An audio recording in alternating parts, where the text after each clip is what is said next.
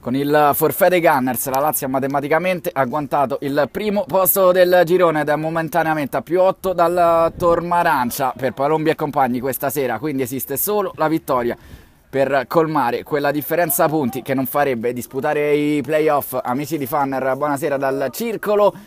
Sport City si gioca la penultima giornata del girone di Serie A2, si affrontano Tormarancia, Calcio 8 a caccia dei playoff e Campus Biomedico che deve ottenere punti per non disputare invece i playout.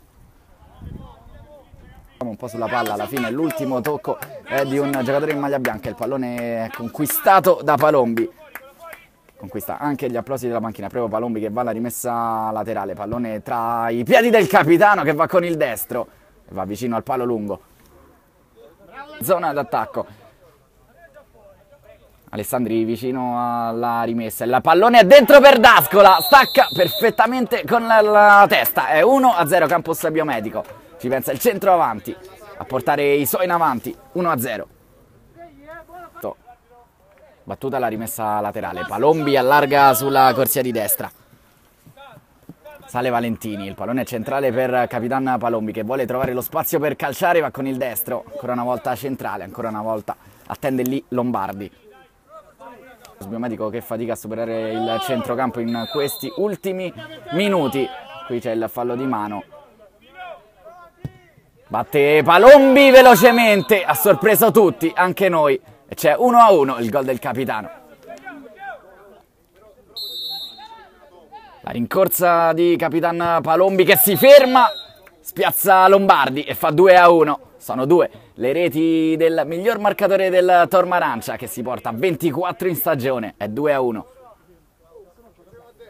Valentini. Demo Fonti. Può avanzare sulla sinistra. Palombi.